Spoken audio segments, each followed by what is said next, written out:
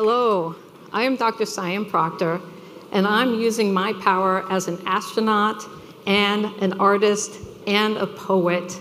In 2021, I became the first woman commercial spaceship pilot and the only African American woman to be a mission pilot. this is my Space to Inspire story. I am a seeker. That's what we all are. Early memories wishing to be up among the stars. I imagined and dreamed and longed for something out of reach, that impossible, against all odds kind of wonder nobody can teach. Fueled from within, a childhood fantasy of floating away, boldly going to a new place to play. I seeked out education and opportunity. I persevered through disappointment in our lack of unity, crazy challenges based on the gender and color of my skin, but never giving up hope for that little girl deep within. There had to be a way for imagination to win. I continued to believe in both myself and humanity. Hope was my drug of choice to keep my sanity. Then, one day, my world tilted as I watched in wonder and awe as everything shifted. A contest to win a seat to space. I just needed to present a new more authentic face. I found my voice as an artist and poet. So I wrote these words that enabled me to show it.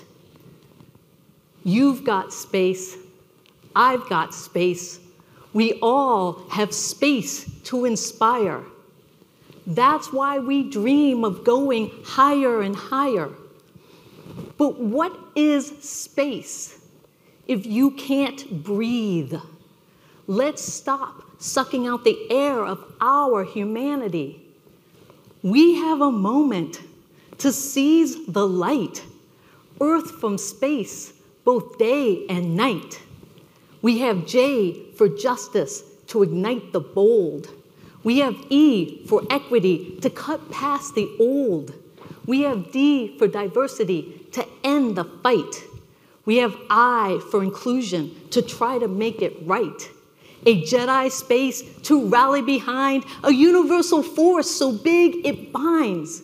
Inspiration to change the world, a new beginning for us to hold.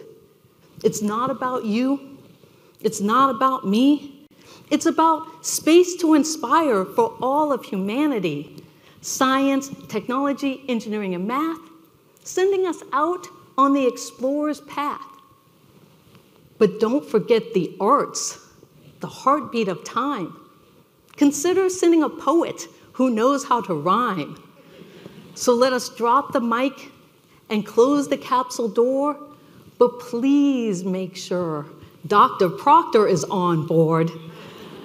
My space to inspire is what we need inspiration for, for all of humanity.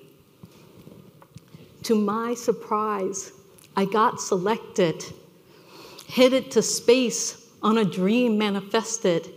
In a SpaceX Dragon, we roared across the sky. As the mission pilot, I never knew I could climb so high. I found myself a shooting star, staring back at Earth from afar with a cosmic perspective of our planet. Being bathed in earthlight was the gift I was granted.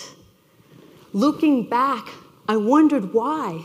How was I able to climb so high? Thank you to all the amazing trailblazing women who forged the path forward, a trail for us all to move up and onward.